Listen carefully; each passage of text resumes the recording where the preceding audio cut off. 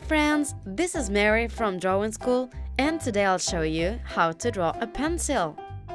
I'm going to start with an inclined line, going from the middle to right. Now a parallel line over here.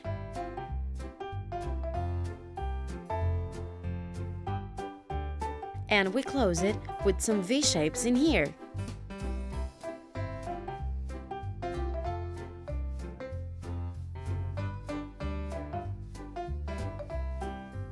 Now we draw a little oval on the top for the rubber.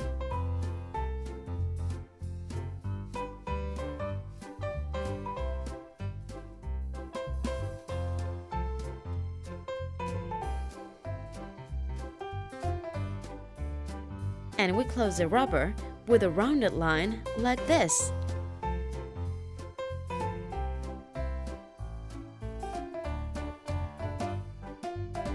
You can add some little details too. Now we draw a big V shape in here.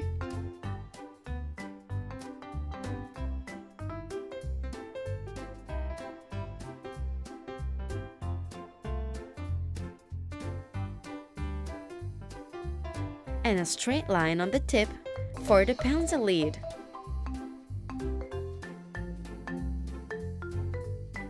It's ready! Good job! I hope you liked this video, don't forget to share and subscribe, and I'll see you next time. Bye!